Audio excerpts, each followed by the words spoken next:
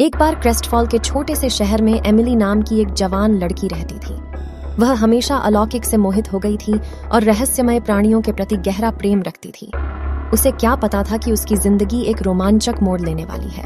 Emily ने दो उल्लेखनीय प्राणियों का ध्यान आकर्षित किया था। विक्टर नाम का एक पिशाच और लुकास नामक मानव भेड़िया संकर। विक्टर मोहक आकर्षण वाला एक प्राचीन पिशाच था। जबकि लुकास के पास अपने लाइकेंथ्रोपिक स्वभाव के परिणाम स्वरूप एक गूढ़ आकर्षण था। एमिली ने खुद को अमर विक्टर और जंगली और अदम्य लुकास के लिए अपनी भावनाओं के बीच फटा हुआ पाया। भाग्य के अनुसार, शहर के पुराने कब्रिस्तान में विक्टर की एक चांदनी रात के साथ एमिली का रास्ता पार हो गया। उसकी ईथर सुंदरता और गूढ़ उपस्थिति ने उसे पतंगे की तरह लॉ की ओर खींचा।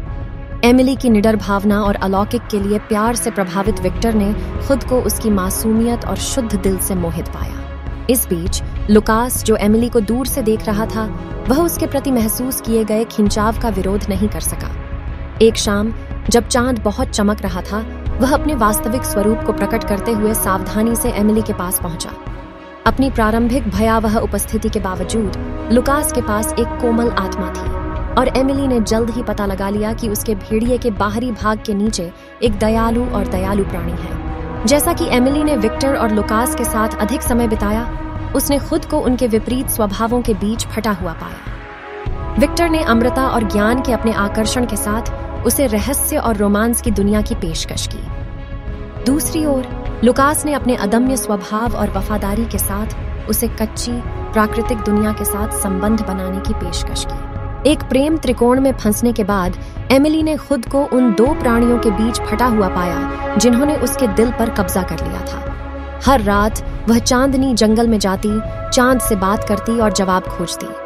लेकिन जितना अधिक वह अपनी भावनाओं में डूबी, विक्टर और लुकास दोनों के लिए उसका स्नेह उतना ही गहरा होता गया। अंत में, एमिली को एहसास हुआ कि वह उनके बीच चयन नहीं कर सकती थी।